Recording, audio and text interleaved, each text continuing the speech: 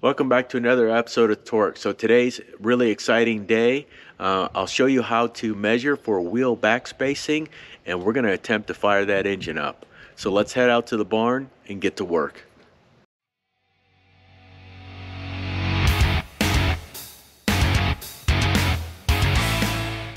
We're going to have a little bit of fun now. So now that we've got the fender on, um, I'll be able to do the back spacing on the wheels since these aren't the wheels that we're going to keep on this. So I've got the El Camino uh, on the lift.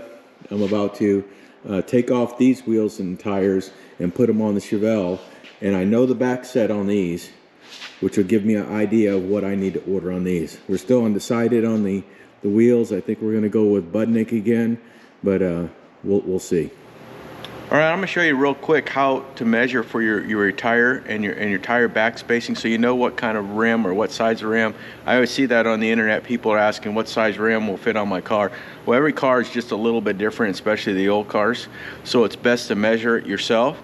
So the easiest way that I found is doing this.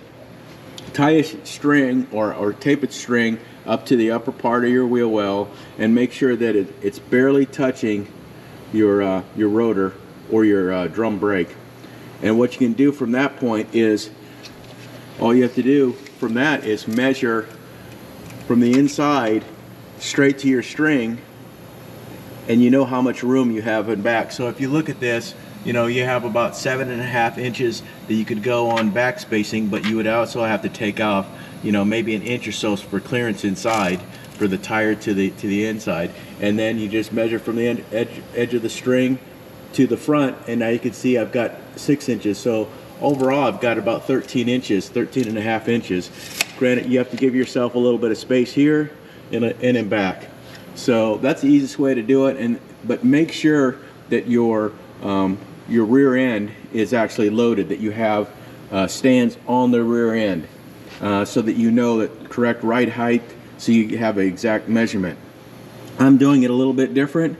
Um, I am actually pulling the uh, tires off of the El Camino and I'm to put put them on tires and rims. I know what the back spacing on those are and I'll be able to adjust perfectly for what I need. All right, I've got the uh, rims on from the El Camino. Um, there's a slight difference in the gap between the uh, quarter panel and the tire itself.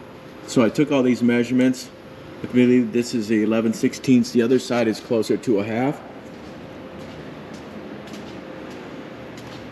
I can barely, barely fit my finger up there, which is pretty good. And I'm going to show you what else I think uh, the always need to check, and that's with, with it articulated a little bit to, to see your clearance. I did measure on the inside, and I have at least uh, one and a half inches on the inside, and uh, I think it goes down to 1.3 when I articulate it, and you'll see what I mean in just a second. I jacked up this left hand side. This is just barely off the ground, so it can barely move, which means this is the, the furthest that it could possibly go off on the left side. And you can see my gap has widened here. And then check your inside gap. And I believe I went down to 1.3 inches on the inside, which means this is a nine inch rim right now. I can go one more inch inside. Now, that gap on the back was from the tire to the back of the uh, wheel well. But I can go one more inch wider going inside so I can go to a 10 inch rim, which is what I'm gonna do. All right, today's the day. We're gonna try and start the car. So I'm filling it up with uh, antifreeze. I still have uh, 10 gallons I'm gonna put a premium in there and uh, and then we're going to try and start it up. You guys are going to see the first time. I'm going to try and set up the computer and uh, we'll see if we can't get it set up right and then we'll start the car. All right, it's the moment of truth. So I've got the uh, remote in my pocket. This is set up on a proximity. As soon as I walk close to the front of the vehicle, everything should uh, unlock and it should energize the uh, start button. We'll see when we get close. It goes. There's the start button. Now we have to uh, program the fuel injection itself, some basic programming. So we'll take this start button and it's just like turning on the ignition without starting it. We've got to press it twice. I don't know if that got it. There it goes. So now it, this is starting up the Sniper EFI. So we are going to Wizards. And we have to find the correct one. 55-870 that's ours. Next. Number cylinders 8 engine displacement we are at 489 let's see if I can't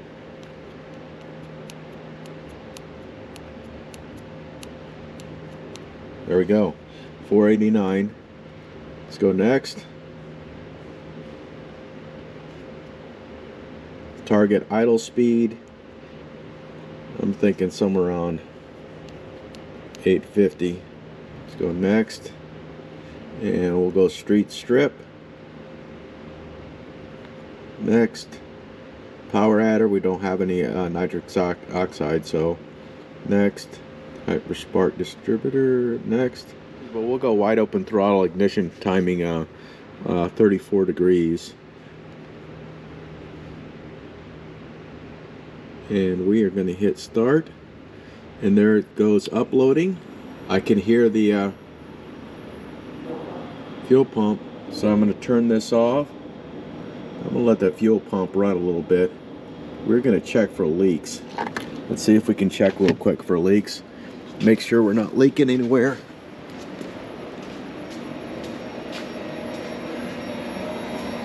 Fuel pump's humming away. We need to check for pressure. Is there something leaking?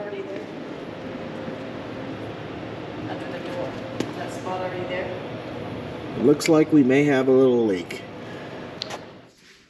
We found where the fuel leak is. It's on the rail. You can't see it from out here. It's where the hard line goes straight into the filter and I'm going to have to change that out. I'm probably going to have to cut the hard line further back and then somewhere back here and then put a flexible line. I don't think the hard line is finding exactly where it needs to be centered up on the uh, the AN fitting. So, but it's leaking like one drop a minute. So we're going to go ahead and start this thing up.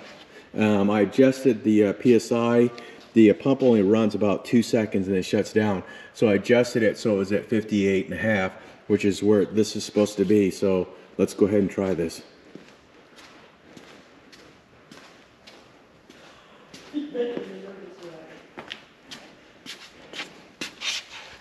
All right, let's move some stuff out of the way.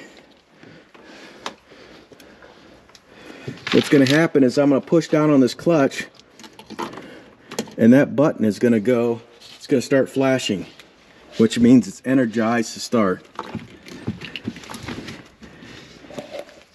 Takes a little bit of pressure, so I gotta push backwards. There it goes. Let's see what happens.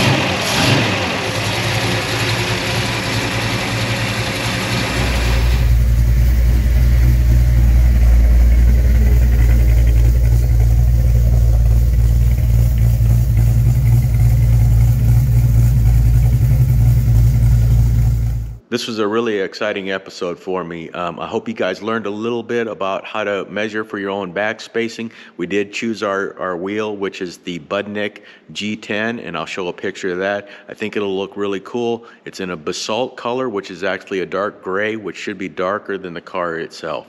So um, the Holley fuel injection on this worked uh, really well, that sniper system. Um, I was able to uh, cut out that section of hose, stop the fuel leak, um, so it works really well. Um, next episode, you may see me and the wife do a little bit of upholstery, and I'll explain why in the next video. Um, besides that, I hope you guys enjoyed this video. I hope you learned something, and I hope to see you on another episode of Torqued.